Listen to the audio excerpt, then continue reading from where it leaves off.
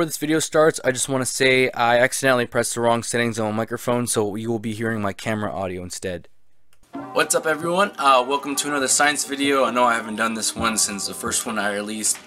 It's kind of hard to pick a topic that I really want to talk about because it's something that I want to be able to research into it so I can be more informative about it. Um, wearing my shirt today says, dude, you're freaking me out with the little kitty cat. Gonna make an argument today uh, first by starting off with this.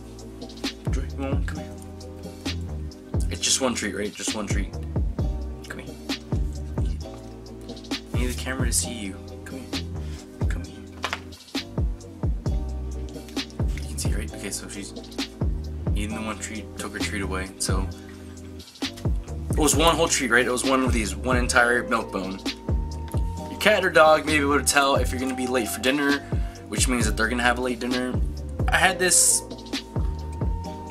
idea the other day asking whether or not animals have the concept of time or if they're just creatures of habits. I mean, obviously, all animals are creatures of habits, including humans, but it was more or less do they understand counting? Do they understand numbers? Or do they just understand the concept of the difference in, hey, get out of there, stop.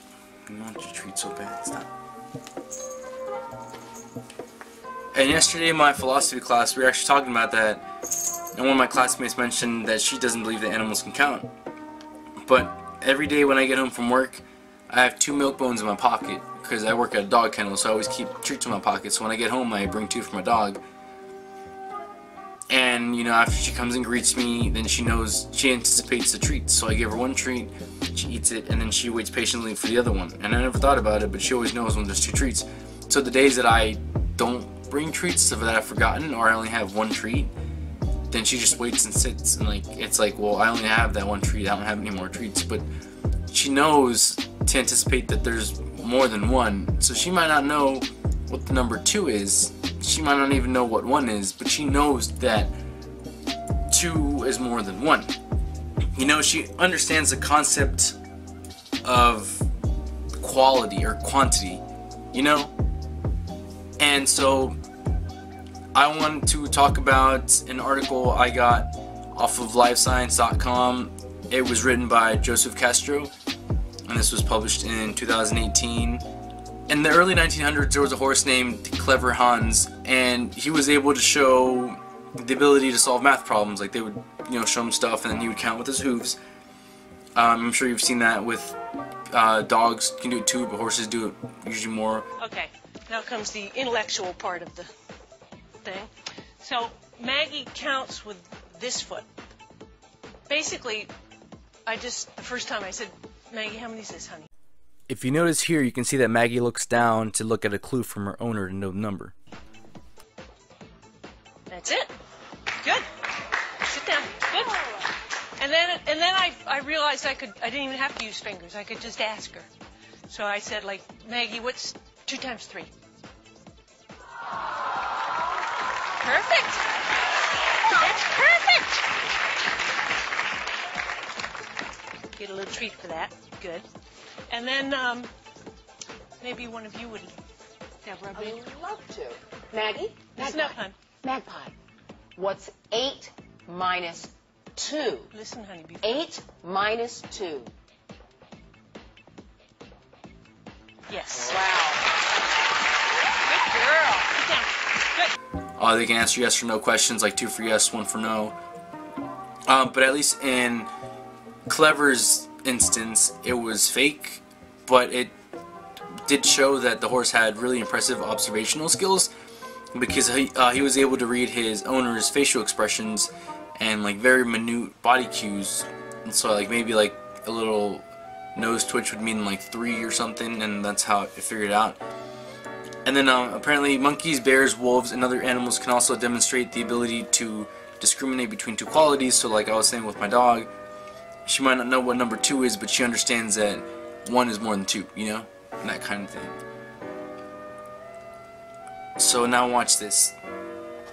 She knows that this is one treat, right? But if I break it up, watch. She sees me break it up into two treats, right? So I'm gonna hide this one here. She didn't see that. So I'm just gonna give her one.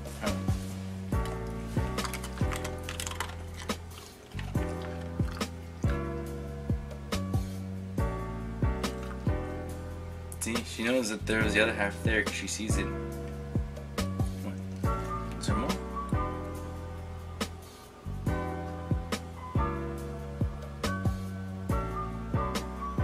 Now watch when I give her the second half.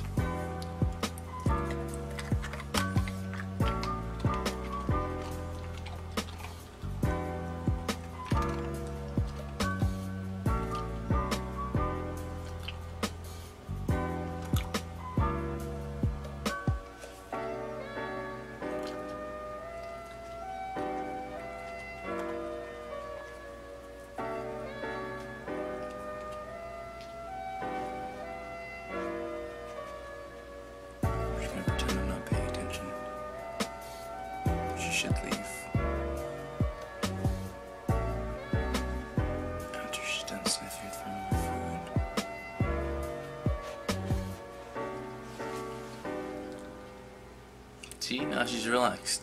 Because there's no more treats left. You go. Oh, dropped.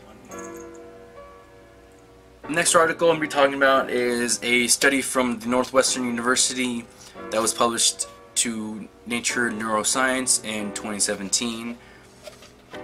And uh, the medial entorhinal cortex, which is located in the temporal lobe, which is right here, it is the area of the brain that's associated with memory, navigation, and also the perception of time. So it's what understands uh, spatial uh, aspects and episodic memories. And episodic memories are basically like your personal experience, your knowledge of things, um, that kind of stuff.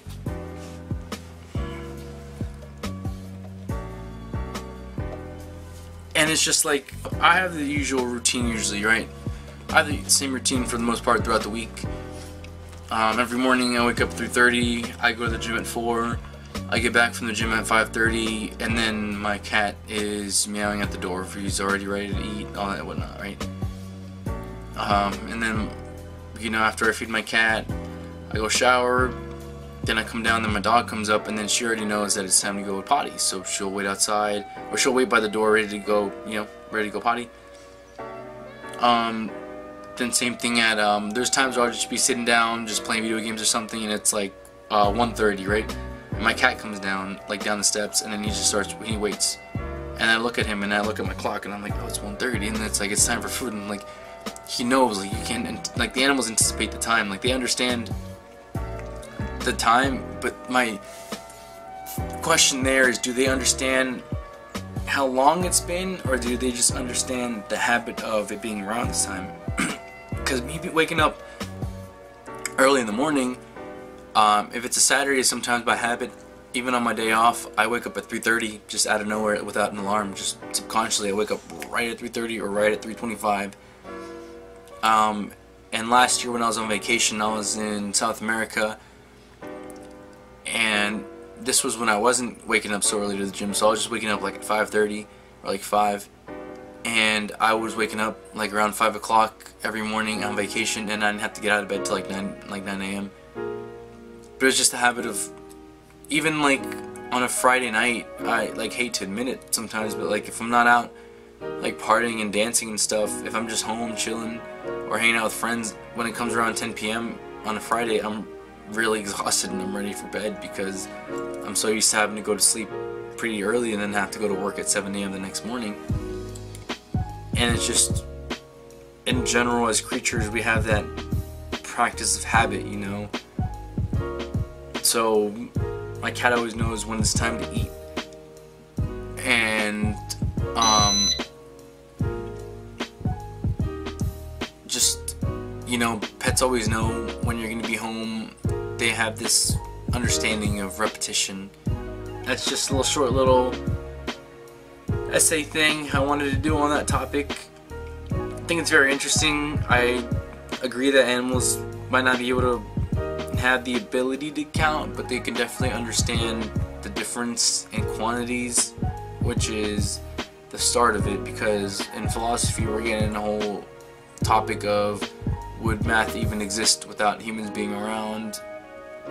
And like that's kind of a, a huge step towards figuring that out with animals having all that stuff. Humans created time, so you know we created calendars and stuff, so we were able to kind of not dominate time, but we were able to identify the concept of time, which helps us understand the passage of time. Since animals didn't have to develop that, they don't really need the concept of time. They just need to know, you know, when they're tired, they sleep. When they're hungry, they eat.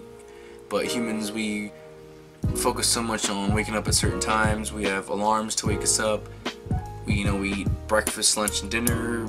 Like we know, we have a general idea of what time we're gonna eat. Stuff like that. You know, like my lunch break is always at 12:30 every day. You know, like eat breakfast in the morning. I eat dinner at night. Like there's always habit and time really come together when we're talking about the human species and I don't see why habit and time can't come together when we're talking animals. You know, maybe they have they have to have the concept of time, and they definitely form habits. But do they understand how they intertwine? Is what I am proposing. I will do more research on that topic. On a side note, Sekiro came out last week, and Yoshi's Crafted World comes out this week. I'll be picking up both of them on Friday definitely doing some gameplay on Sekiro. I'm not sure if I'll do any on Woolly World. Um, but then Cuphead's coming out soon too, grabbing that on Switch. That's just for my gaming part of the channel. As far as science talk, I do have I had another topic in mind that I didn't I can't think about it right now, but I wrote it down. And I'll probably make that video soon as well. But yeah. Any questions, comments, let me know. I'm more than glad to address them in another video. I hope you enjoyed this topic as much as I loved researching it. It's really cool. I might do more research on my own, do a part two. Um, still looking to do another part two of the AI awareness if it is applicable, if I find more research on that. But I also had a lot of fun making that video. But yeah, thanks for watching as always, and I will see you on the next video. See you later.